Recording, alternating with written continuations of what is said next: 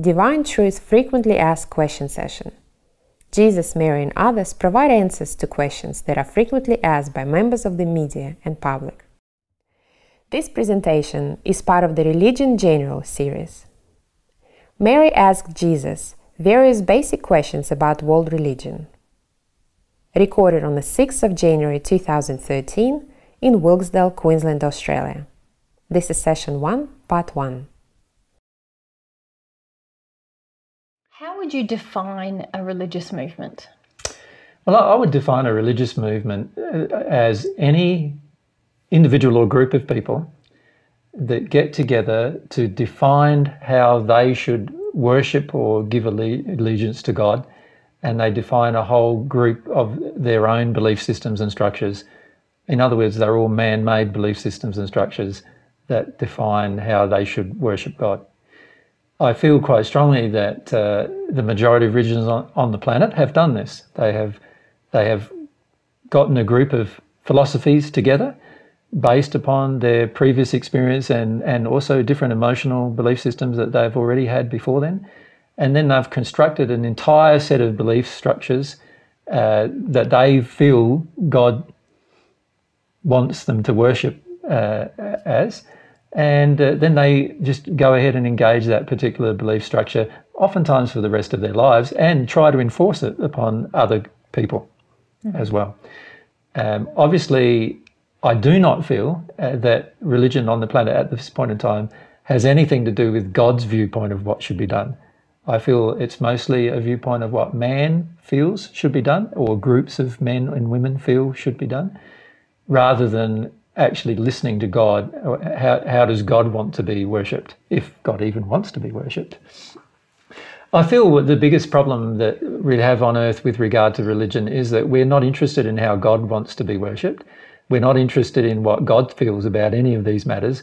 We're only interested in our own philosophies about what we believe God is and what we believe God should be and what we believe God should do and what we believe God, how God should act and what we believe uh, we should act with each other and what we believe is bad and what we believe is good.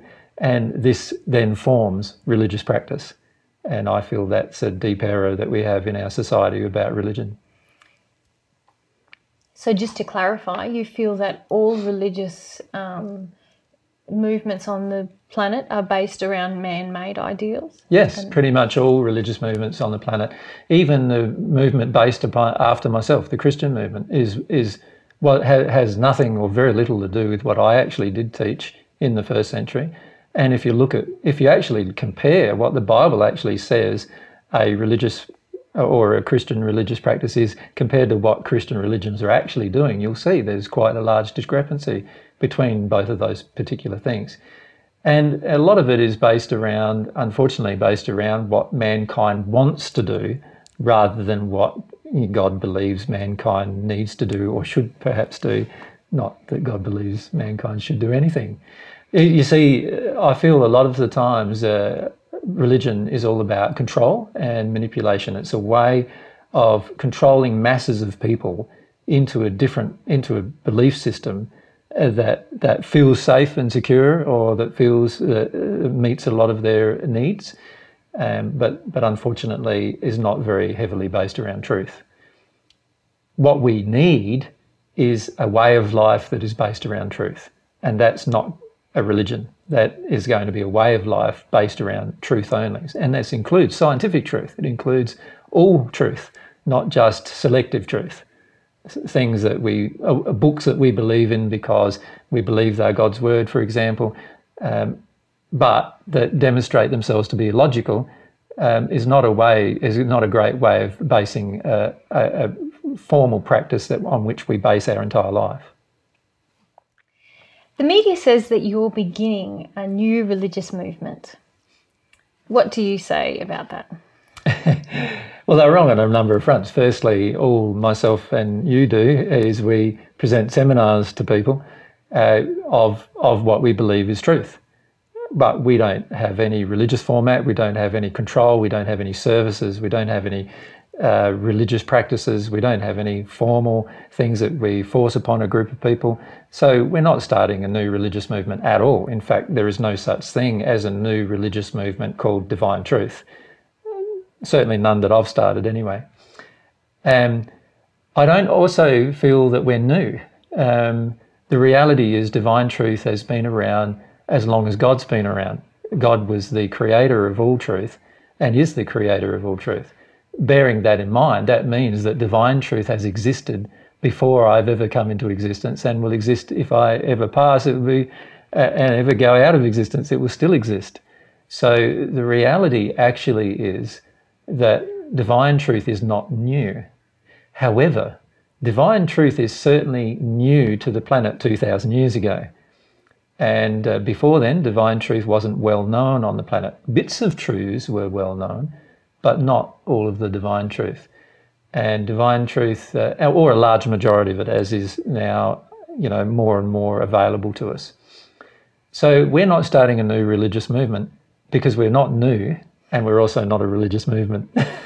yeah, and in a previous question, you answered uh, what you feel a religious movement is, and you talked about um, uh, religious movements being based on man, man's ideas of what God wants. So, are you saying how do you respond to that in the context of yeah this the divine truth that we're teaching is not based on my ideas. In fact it, um, it's highly unlikely in my wildest dreams that i would have ever come up with these ideas.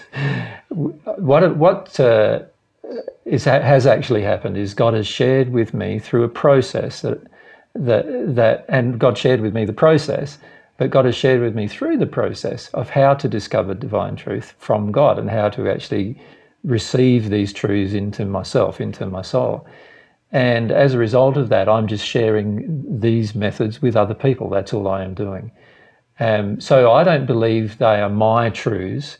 I believe they are God's truths that I've had to come to terms with. And sometimes with a lot of resistance, I've had to come to terms with them. Mm-hmm. And as a result of coming to terms with these truths, um, I'm now sharing them with others and uh, and because I know them to be true. If I felt something was not true or I didn't know it to be true, then I, I, clarify.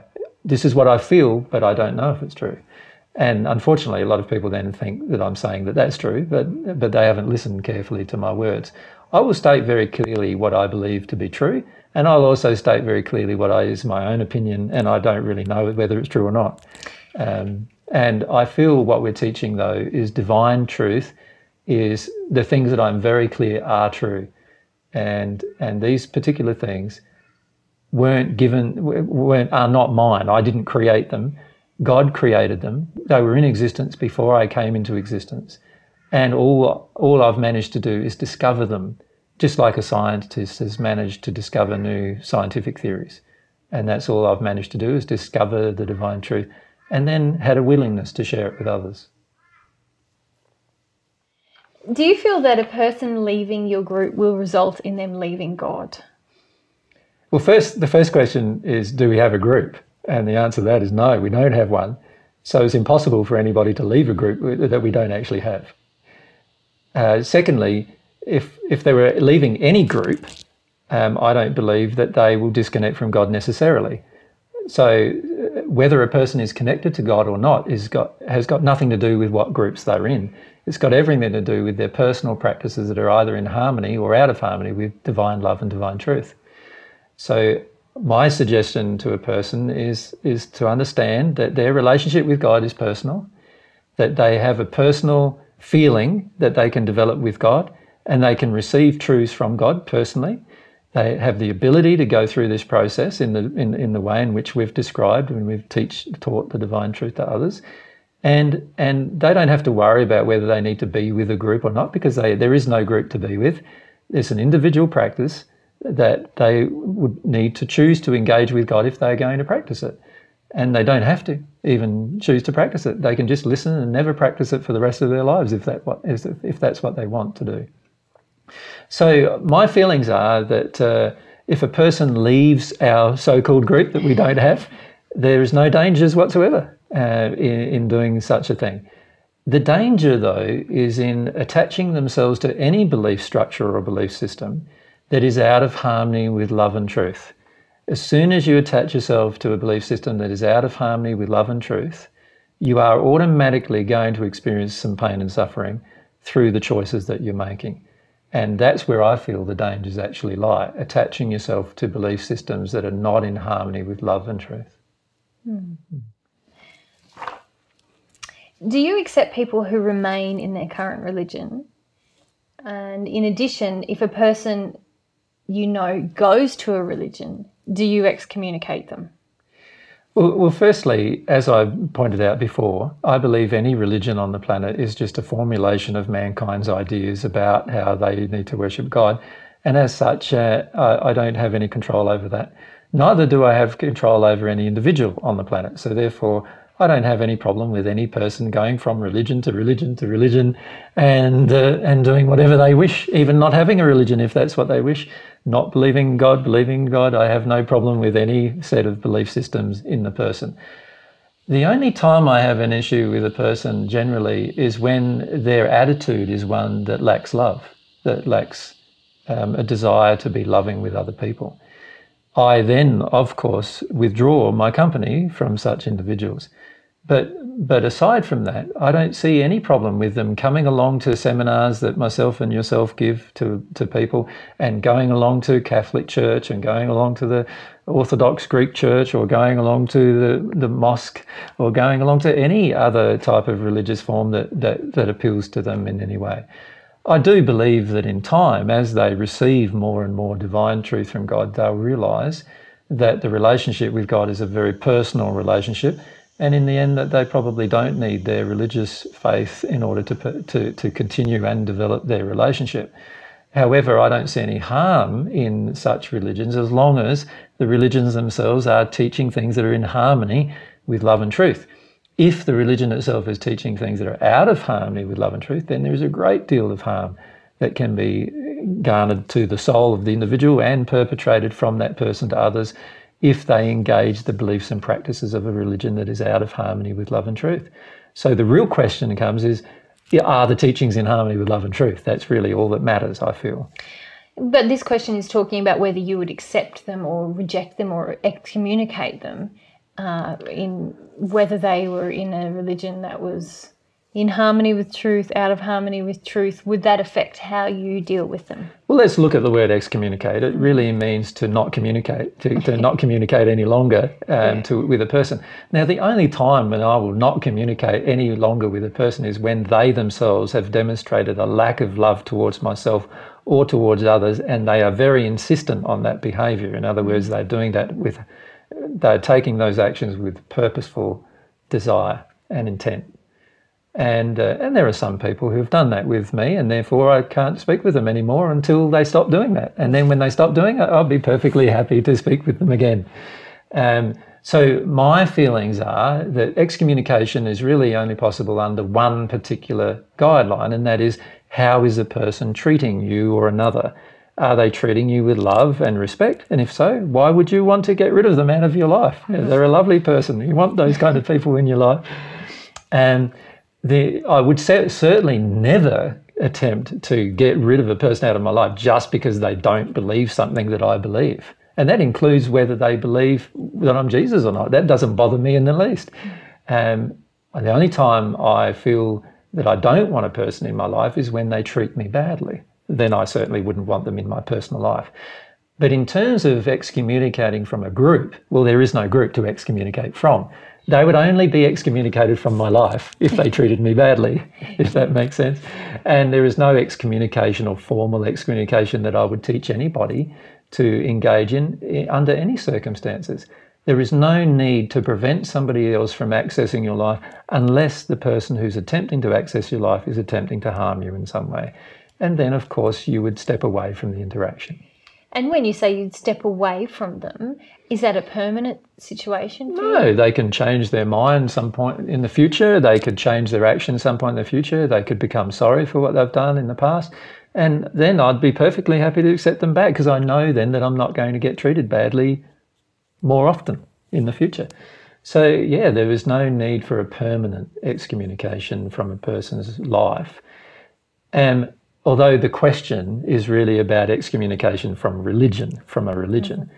I feel that uh, when religions excommunicate people, they are trying to control people. They are trying to control the belief systems of the individual. And so when a person has a differing belief system, instead of allowing that belief system to potentially challenge their own belief system, instead of openly and honorably, with respect, discussing the differences in beliefs, there is this uh, desire to just get rid of the person out of their life. And I feel that's a very damaging thing to do. It stops potential growth for both the person and the religion that they're in and it stops the potential for change uh, uh, in, in a positive direction. You see, if, if everyone is at this level with regard to a particular religious belief system, and then one person is at this level, it would be better to discuss the matter rather than excommunicate mm-hmm. the person. And the same applies if everyone was at this level and one person was at this level. It would be better to discuss firstly with the person what's going on rather than just excommunicate them. And if the person is acting in a loving manner and respectful in their discussions with you, why would you ever remove them from any organization that you are a part of? Unless they wanted to leave. If they want to leave, then let them go. If they if they don't want to leave, then let them stay. Do you accept people who have different beliefs to you? And if a person has different beliefs to you, how do you treat them? Well, if I didn't accept people who had a different belief to me, then nobody would have ever come to any seminar. Mm-hmm. The reality is that every single person who comes to a seminar has a completely different belief system than I have. And after a while, that, that may change, you know, because they might be convinced through a heap of explanation and logical examination and also personal experience that what I'm showing them is true. And at the start, almost every single person I meet has a completely different belief system than I do. I love meeting people with different belief systems. Mm-hmm. So, uh, yes, I certainly would not uh, treat badly or get rid of any person with a different belief system. I, in fact, I feel quite strongly that belief systems need to be discussed. And the only way you can discuss them is by having the person present. You can't discuss belief systems without pre- pre- person being present. The only time when I feel that it's wrong to discuss with anybody a particular belief system is when the person is ridiculing you, making fun of you, or generally being unkind and unloving towards you. Under those circumstances, then I feel that it's necessary to cease the conversation. And if it's in one of my seminars, I'll ask the person to remove themselves because I'm providing the seat that they sit on and I'm providing the venue for them to sit in. And I'm also providing my time for free for them to listen if they wish to listen, but they don't have to. Mm-hmm. And if they wish to argue with me during a seminar, then I'll ask them to leave because that's not loving.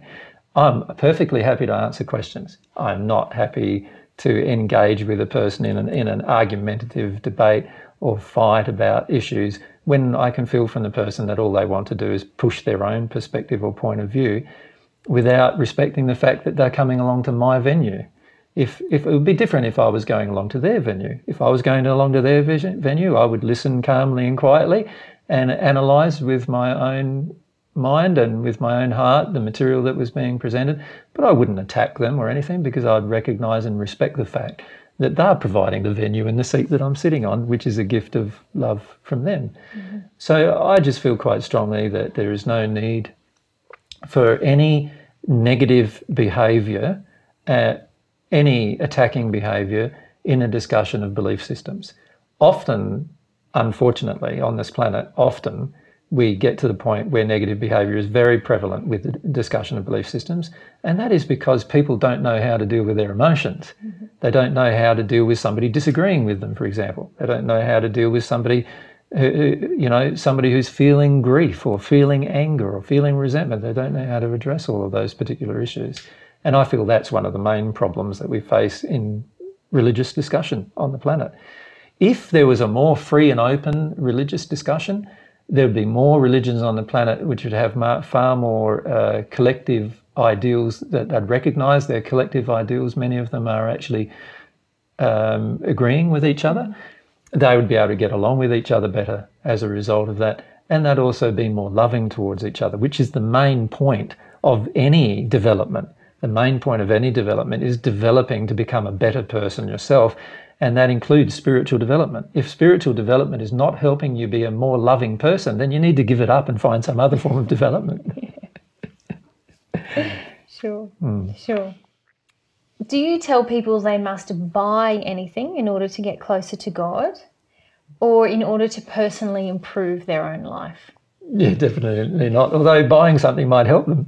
How Like, is that? Well, I- I've bought many books um, that you know I've at libraries and whatever. I've hired out books, but I've also bought books that I thought helped me develop spiritually and emotionally into a more loving person. So there's some wonderful books that I've read that I've actually bought. Yeah. Um, but I don't believe that anybody needs to buy anything from myself because everything that I do is for free. So nobody needs to buy a book or buy, you know, something or donate to us if they don't want to donate to us. Um, you know, the only time that we accept donations is when we feel it's given out of a grateful heart. And in fact, the only time we believe a donation should be given is when it's given with a grateful heart. And there are many times, as you know, where we've received a donation or a gift from somebody because we don't feel it comes from the right motivation. We've refused it, you mean? You said we refused Mm. Sorry, it. yeah. refused Yeah. it. Yeah, because we don't believe it comes from the right motivation. Mm.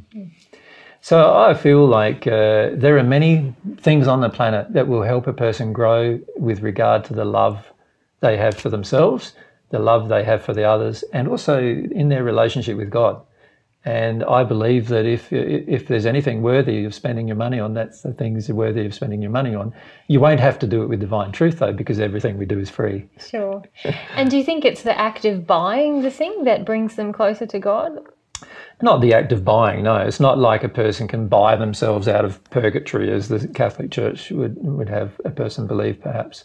Um, it's not a. There's no way of buying a character. You can't buy character. You have to develop it. You know, so it's impossible to spend money to buy something that's actually going to improve your development. You've got to engage a process, an emotional and intellectual process of development before you're going to improve in the way in which you relate to everyone around you, but also in your relationship with God.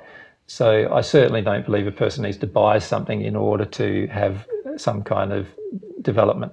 One thing I do notice on this planet, though, a lot is unless a person buys something, they don't value it. Hmm. And that is a problem because there are many things on this planet available for free that have far more worth than than a per, than what you could buy something.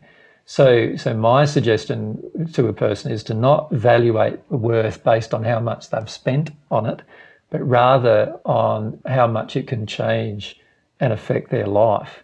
That's the th- that's the way to measure the worth of something. But certainly, if I found that something was going to improve my relationship with God, I'd definitely buy it if somebody was selling it. Um, in my case, though, if uh, I believe what I'm teaching does improve a person's life and improves their relationship with God, and I'm giving it away as well for free, no strings attached. Do you tell people they must accept you in order to get closer to God or in order to personally improve their own life? yes, they definitely need to accept me in order to get closer to God and in order to personally improve their own life. And when I say that, what I'm saying is they need to accept me just as they need to accept every other child of God on this planet. If you cannot accept another person who is God's child, how are you ever going to accept God? So the reality is, if you're going to develop in love and truth on this planet and you're going to improve, improve personally with your own development, spiritually and emotionally, you need to accept every person around you. And that includes me, Jesus. You need to also accept me. I'm not unique in that way. I do not believe a person needs to accept me as Jesus in the sense that uh, they need to accept everything that I say without any question.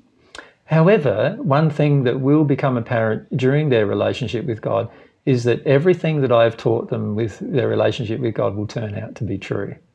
Now, they'll find that out sooner or later, and in that way, they'll come to accept the teachings that I teach. Mm-hmm. And this is what I meant, meant in the first century, like that I had the keys to the kingdom. And the keys to the kingdom that I referred to when I was talking with the so called Apostle Peter in the first century was all about the key to this relationship with God, the key to this relationship with yourself, the key to your relationship with your soulmate. Th- these keys are all a part of the teachings that I share with people. They are things that every single person eventually will accept if they ha- want the kind of relationship with God that I'm describing. But they won't accept them because I'm Jesus. Mm-hmm. They'll accept them because these are God's truths, and God will eventually show them that they have to accept these truths in order to become at one with God. Mm. Yeah. And would you mind defining a little bit more what you mean then by accept?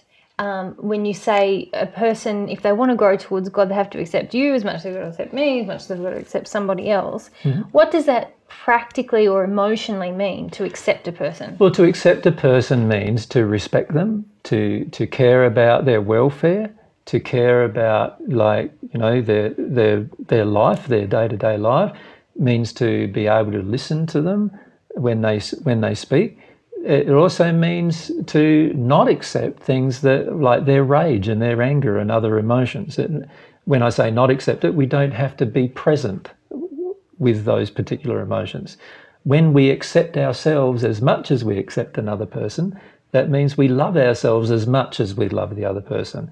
It means that we would treat each other ethically. So I would not demand of you something that I would not ask of myself, for example.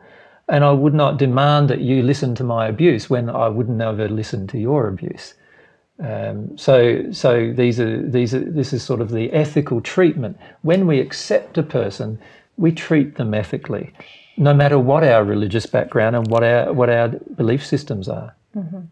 And so within that, you're saying that even though I can accept you and still be in a state of acceptance, even if I say, I don't want to have anything more to do with you because you're being quite abusive at this moment. Yeah. I'm st- I can still be in a state of acceptance and I guess that's what I was trying to understand from you. Exactly. So what what is the state inside my heart when I do that that still is accepting? Well, you, you are not you are not judging the person for their behavior, you're not condemning them because it's not even your right or ability to condemn. However, you're just saying to them I can't engage with this with you I have to remove myself because I accept myself as much as I accept you. And this is this is the principle of ethical behavior with others. If we are truly ethical in the way in which we act with other people, we will not expect of them things that we would certainly not do ourselves, or and we certainly wouldn't uh, demand of them things that we wouldn't demand of ourselves. We would not try to maneuver them or push them into a certain direction that and, and in particular, we wouldn't try to do it if we wouldn't do it to us, if they wouldn't be able to do it to ourselves. So we need to consider these aspects when we're dealing with people. If we truly accept people, we will have a very much a live and let live type of attitude. We won't be attacking them all the time, condemning them for their choices or decisions. We will just speak the truth in each case that we're given the opportunity. And we won't do it with rage and anger behind it because there is no need for rage and anger behind something.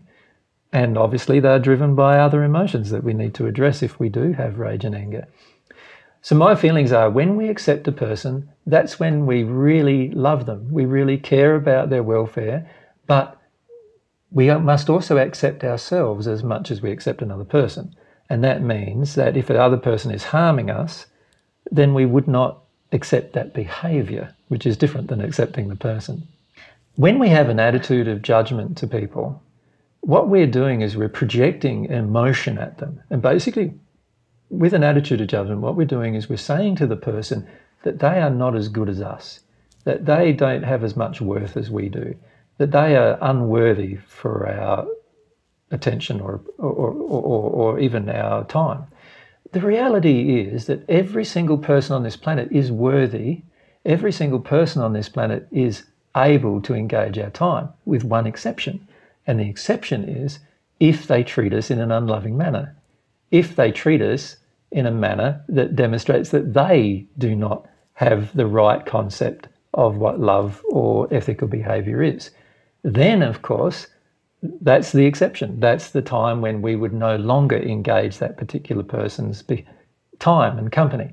We will still love them and accept them as people, but we wouldn't be able to accept their behaviour perpetrated towards ourselves, nor would we be able to accept that same behaviour perpetrated towards someone else.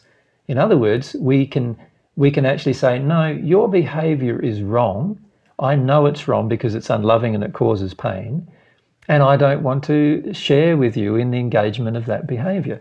I don't want to enable you to engage that behaviour with myself or with other people. And as far as it depends on me, I don't want to share with you in this behavior, so I'm going to withdraw from you. You can withdraw from an individual and still love them and still care about their welfare and, in fact, still pray for them and still desire their happiness. Mm. When you don't care for a person, you start attacking their happiness. You start condemning their behavior. You start being in a rage with them. You will even have a tendency towards violence towards them or wanting them to be harmed. And this is all an indication of unethical and unloving behavior. Mm. There is no need to engage in that form of behavior with any person, no matter what their belief systems. Mm. Yeah, I think the feeling for me is about allowance.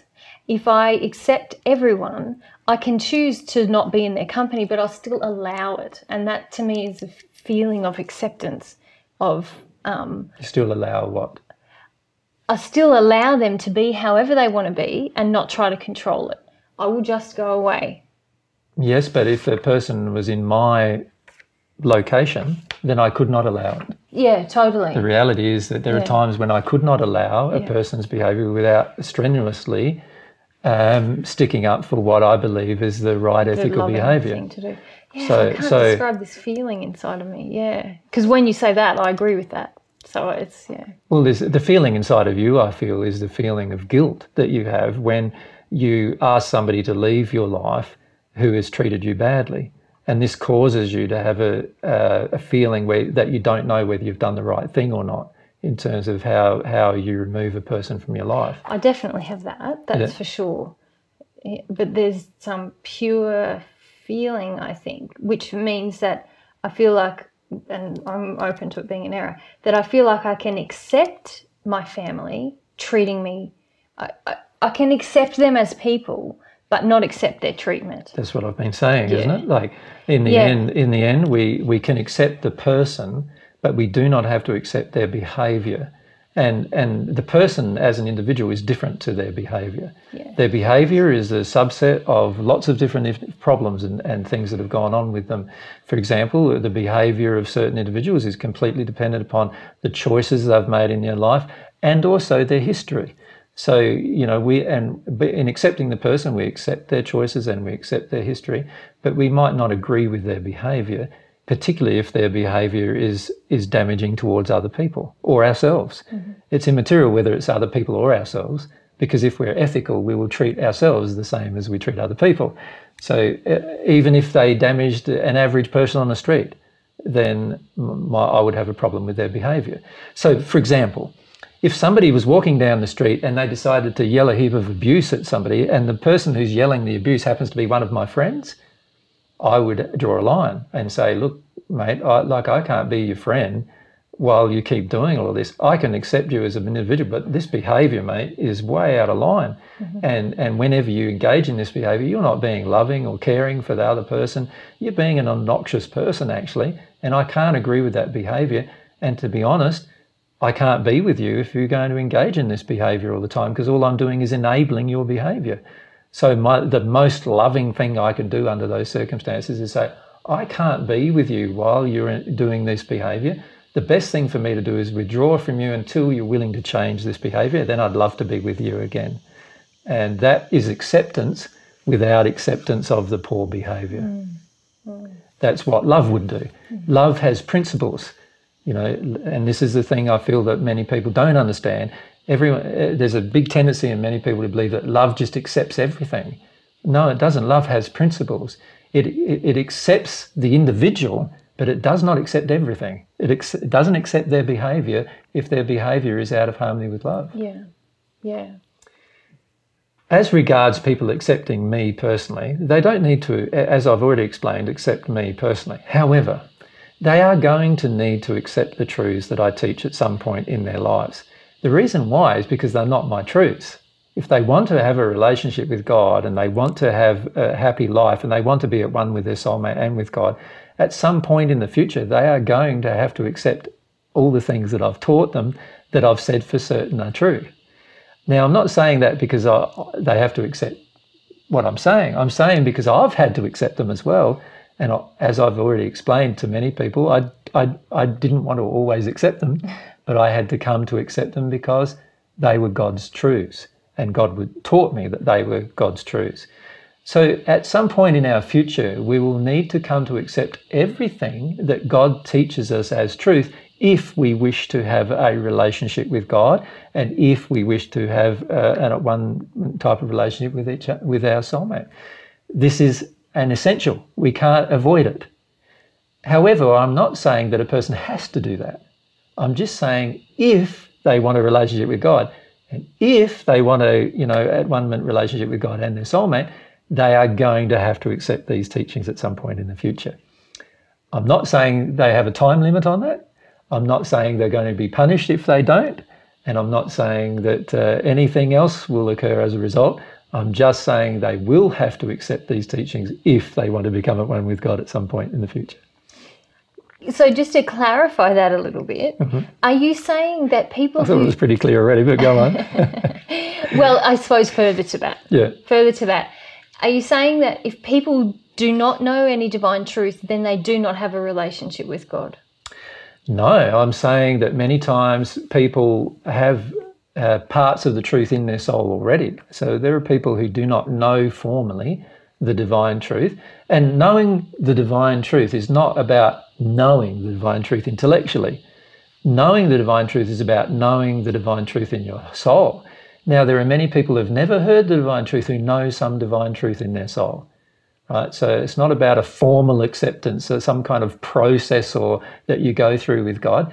It's about the emotional process you engage with God.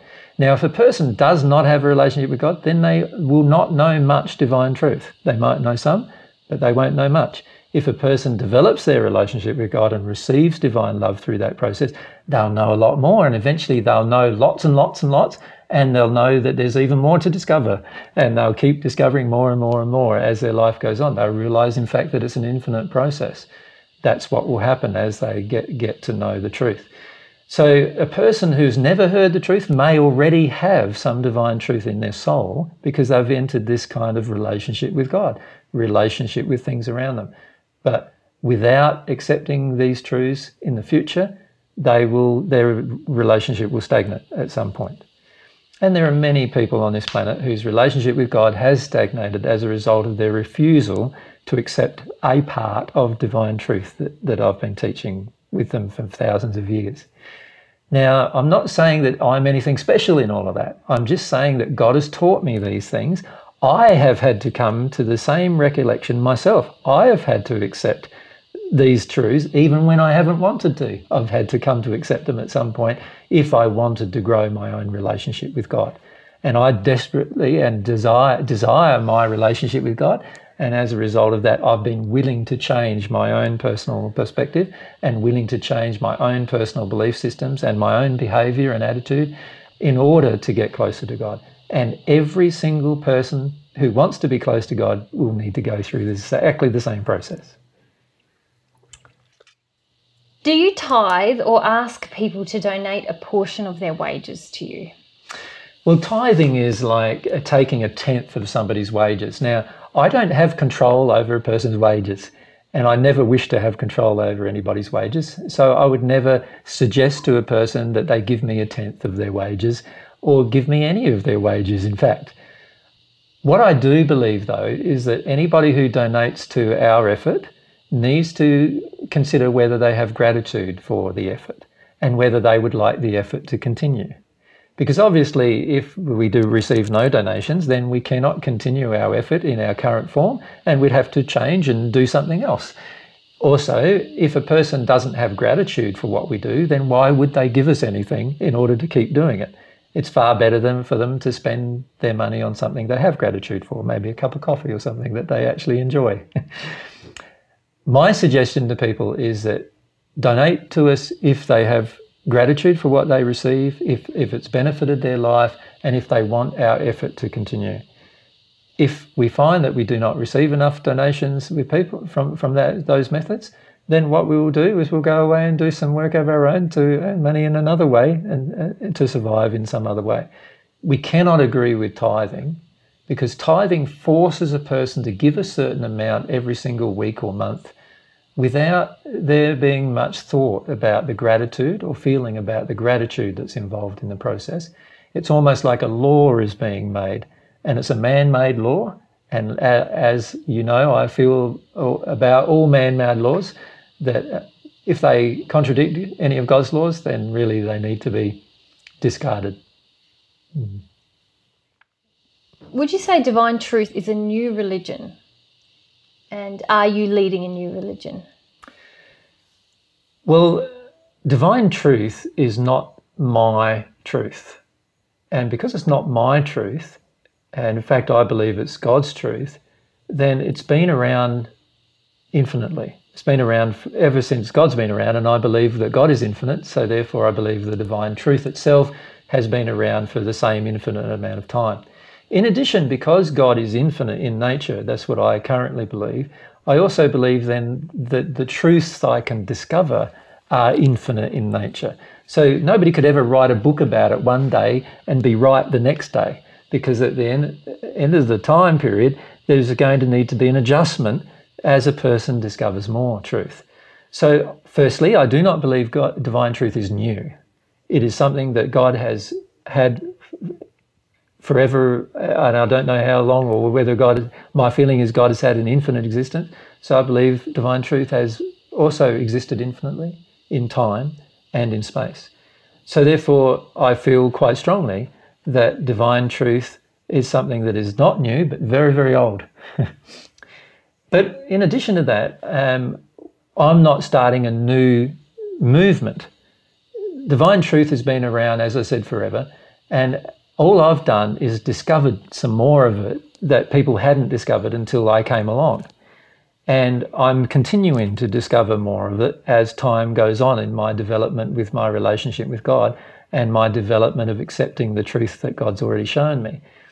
As a result of that, I get to find out more truth. And this process will continue forever, my, those my feelings. It will continue forever. I will continue discovering more truth, more truth, more truth. Other people may, in fact, discover the truth before I do. And if that's the case, I will have to accept the truth that I've discovered. And I need to, do, to accept that if I want to continually grow my relationship with God. This is not a religious movement because all religious movements, as I've described in other questions, all religious movements begin with mankind's ideas about God. This has not begun with mankind's idea about God. It's about God's transmission of God's ideas about God to man, which mm-hmm. is a very, very different focus. Mm-hmm. God has shown me through this communication, through this way that that God showed me I needed to follow to discover God. God has shown me more and more truth about God and the universe and everything else. And and God can do that with every single individual who has ever lived and who will ever lived, who will ever live in the future. So, so what we need to understand is divine truth is not a religion. It is not a movement. It is, in fact, the truth of the universe. And all I am doing is sharing it with anybody who will listen. That's all I am doing. And I'm sharing only the portions I've discovered. And there are many other portions I am sure I'm yet to discover. And so, therefore, anything I currently share will need to be modified at some point in the future to accommodate the new truth. Hmm. One thing that we need to understand is that we do not have a choice about how we worship God. God chooses how we worship God. Mankind thinks that they have a choice about how to worship God and God will accept all forms of worship. That is not true. And in fact, it's quite arrogant to assume that. It's almost like saying, I can force you into having a relationship with me on my terms. And that's not the case. We cannot force God into having a relationship with us on our terms. God has already created the terms through which we are going to have a relationship with Him. The only choice that we have is whether we're going to accept those terms or not. The only choice we have is are we going to have a relationship with God on His terms or not? That's the only choice that faces us. That is a part of the divine truth.